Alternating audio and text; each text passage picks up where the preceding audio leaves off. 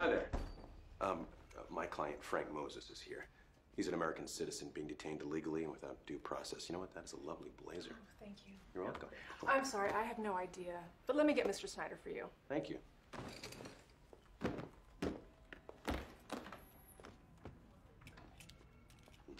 How can I help you? Oh, hi there. Uh, I'm sorry, what is your name? John Snyder. John. You know what? I didn't get your name. Oh, it's Kelly. Hi, Kelly.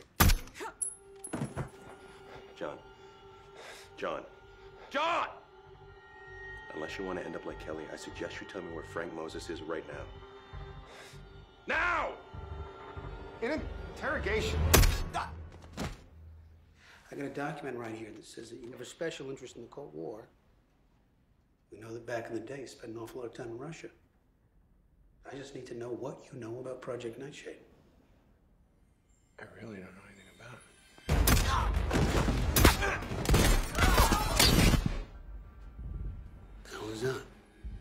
Small arms gunfire, 200 yards.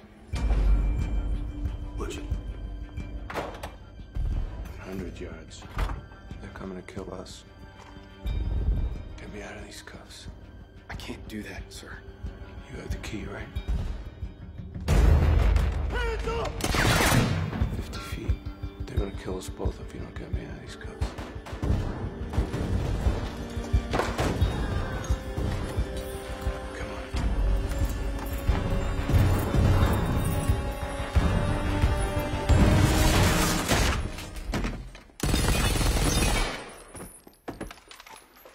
Frank Moses.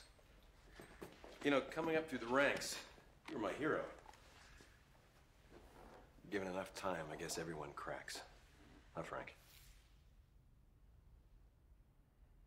Who are you? Me? Mm-hmm. I'm the guy that government hires to get information.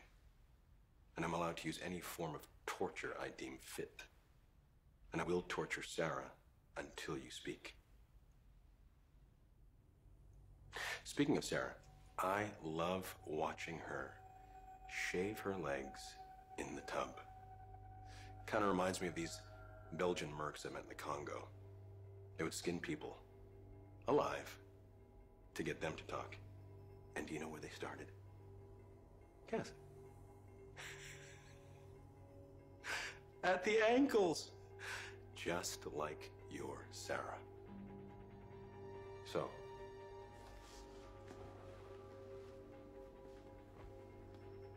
you either give me the information that I need to know, or I'm gonna fillet your girl from head to toe with no mercy.